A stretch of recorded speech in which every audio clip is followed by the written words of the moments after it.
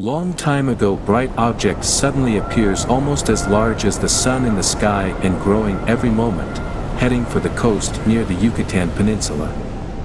Let us stop time.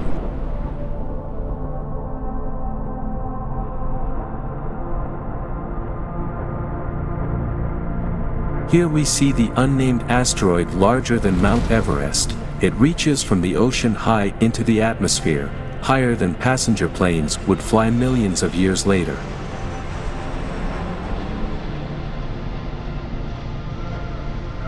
As the asteroid hits the shallow ocean and the bedrock below the energy of billions of nuclear weapons is released all at once as the asteroid vaporizes.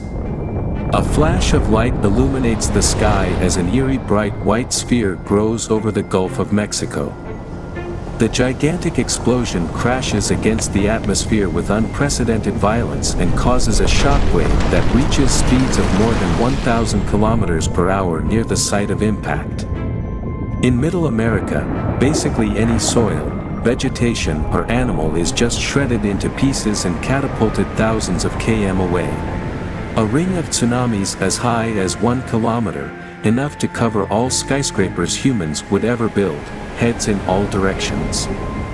Fifteen hours later some of the waves that get refracted around South America will still tower as much as 100 meters into the sky.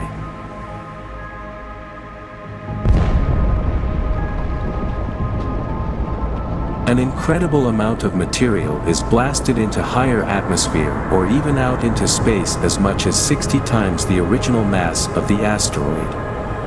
A lot of the debris yeeted into space will orbit Earth for thousands of years, some hit the Moon or even Mars. But most of it comes right back.